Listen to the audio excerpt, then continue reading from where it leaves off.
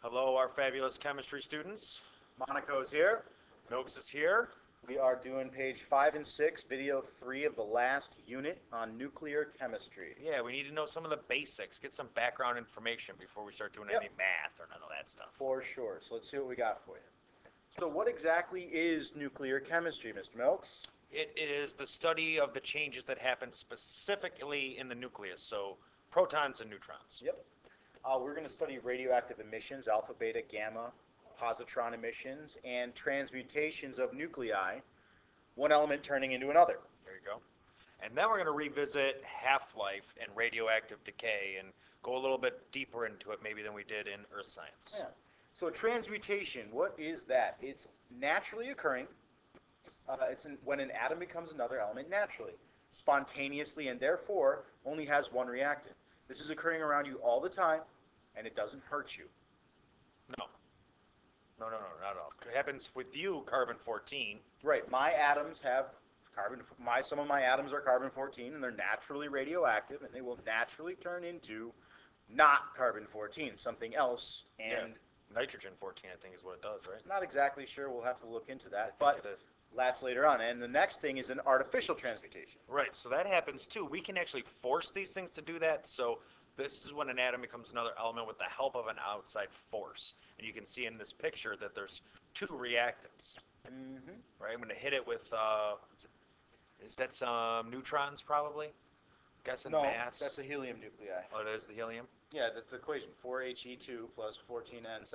Yeah, the 20 was confusing me a little bit. I wasn't sure what to do with that. Two but- zero, two neutrons. Oh, there you go. Oh, two zeros charges. There you go. Good call. Man, you smart, Marco. Too smart. Keeping you around for a while. Now, of the transmutations, the artificial ones, we have fission, which is what runs nuclear power reactors. And there it is. We have a very large, heavy nucleus, a uranium-235. Hit it with a neutron. Smack it with a neutron, makes it unstable, and so it splits from the parent nucleus into the daughter nuclei. And more neutrons, which is what makes the chain reaction occur. You put one neutron in, in that first step, you get three neutrons out, which guess what? Can go and hit three other parent nuclei. And each one is going to create Bing, bing, bing, bing. So after a few steps of a chain reaction like this, all of a sudden it could go out of control. Boom. So, And then there's fusion. Fusion makes a, to me a little bit more sense because that's putting two things together if I fuse something. So here I take two nuclei and I kind of ram them together and they will form a bigger, heavier nucleus, and that's the fusion. And you can see this bigger helium's coming out of the deuterium and tritium. Yep, and deuterium and tritium are isotopes of hydrogen. Correct. Hydrogen coming together to make helium. Yep. So, um, all of nuclear chemistry is underpinned by Albert Einstein's equation and its relations to, transmutations. E equals mc squared. Duh. What does it really mean? Well, E is energy, m is mass, and c is the speed of light. And so, what this really means in the end is that mass can be converted into pure energy. And we humans, around the turn of century 1905, when Einstein, Einstein published his paper, realized that it was possible. The next 50 years, it took almost to actually make it happen Right. in a nuclear reactor and a nuclear bomb. Right. And so the beautiful part about this now is a little bit of little bitty bitty bitty mass makes a huge amount of energy. And we're talking a few protons and neutrons being converted into many, many, many joules of energy. Right, and it makes sense because in the fusion reaction that's happening in the sun creates an amazing amount of energy. We can feel it on our skin. From a billion trillion miles away, or whatever. Right, is. right. Ask an earth science teacher. So the bomb, just so you know how little mass gets converted into how much energy, the bomb that leveled Hiroshima and helped end Right. the Second World War in the Pacific six. had around 55 kilograms of uranium in it. It's called a critical mass. You need a certain amount to get a chain reaction to even go.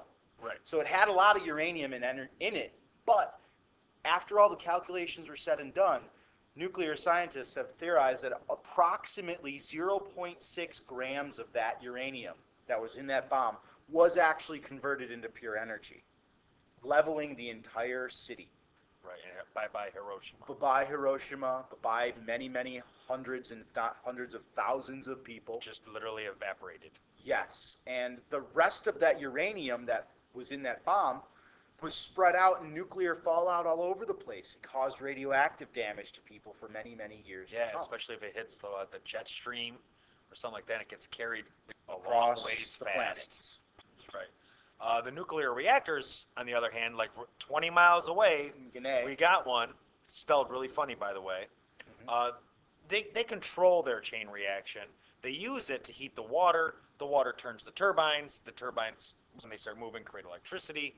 And now we got a clean form of electricity other than that waste that's Right. produced from the nuclear. So the same idea, chain reaction, uncontrolled kaboom, kabam, kabang, kapow, kabam. Controlled nuclear power. Correct. So small mass equals large energy in both scenarios. Yes. So I know a nuclear power plant might seem like a really expensive thing to do, but in reality, only a very small amount of mass is being used to create a huge amount of electricity for us. True. I mean, some of the ideas are very good. It's dealing with some of the problems that Yeah. leave us with some issues. Sometimes we ain't so smart. Right. So nuclear power generation. Uh, here's a, some pictures, right, of a, a power plant, and there's one little picture of what's actually kind of going on inside. You can see the control rods Yep. and where the actual fuel is. Mhm. Those are the uranium rods, right? Yeah, and this concrete pressure vessel and the control rods and all the fuel elements and everything, they're not inside those big hourglass shaped towers. no, no, no. They're actually in one of these buildings down at the bottom Yeah. of the picture. Those towers have to do with the heating of the water and the turn of the turbines. The cooling of the water, yeah, cooling the reaction off, controlling it better. Yep, yep, yep. So fission of uranium can be done in a controlled manner. You move the control rods in and out, speeds it up, slows it down. Fission reaction is controlled using those rods.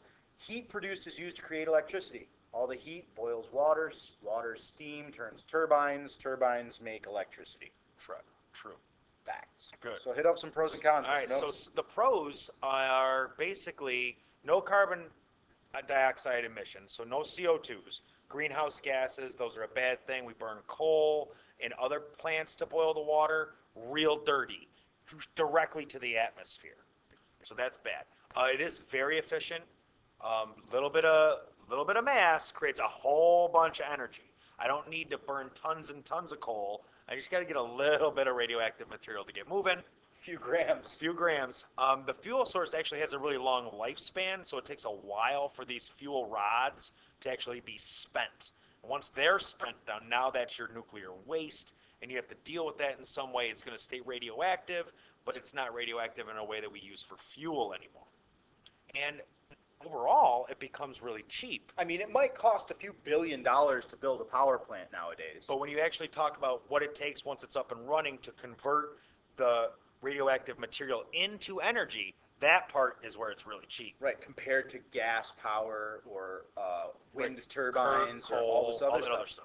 Yeah, it, It is actually is really cheap. cheap per watt Right. if you really break it down. That's what it is. So like how much it, how much did this cost me to turn it into the energy? That part is actually cheap. The whole thing isn't necessarily. And these suckers can run for 25, 30 years without really much changes. The cons are those waste rods. What do I do with them? Where do we store them? If we take them and take them all to one particular mountain, then they got to cross state lines. And now that's a huge issue with traveling with hazardous waste.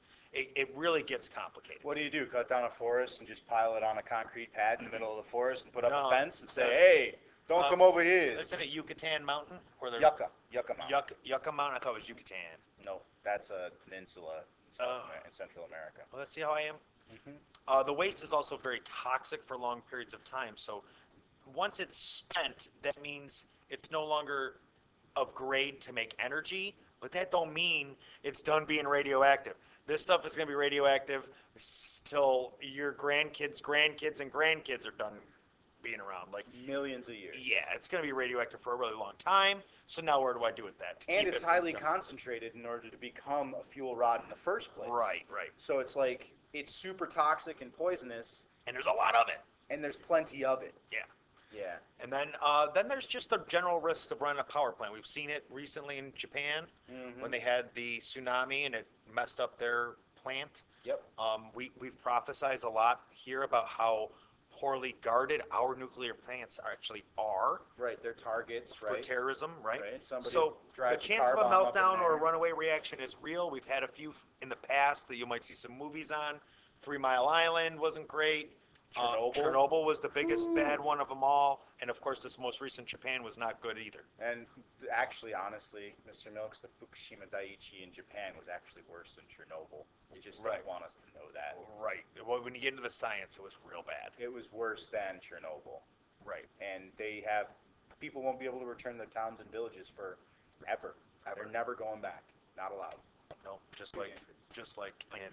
So some legit pros and cons. We got some nuclear medicine to cover too. Yep. So some things can be used to treat cancer. So this is a pro of radioactivity. Sure. We got thyroid cancer, You- iodine Yep, 131. You got to know that, guys. Iodine goes with For sure. thyroid cancer. Cobalt 60 is good for radiation therapy. Yep.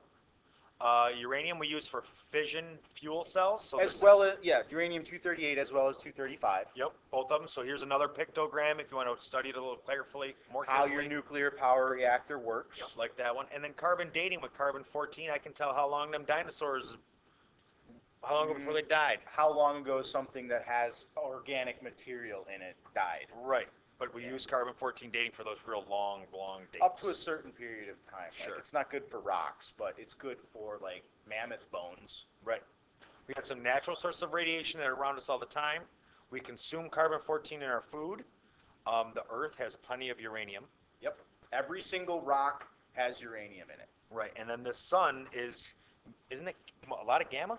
Lots of gamma, lots, Lots of of gamma, ultraviolet, lots, lots of of- different types of radiation. But Yep. yes, And you can feel it on your skin on a good hot sunny day. How do you think you got a sunburn?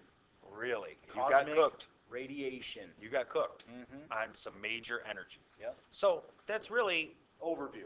overview. I'm gonna give We'll you get into some a little bit more specifics as we go.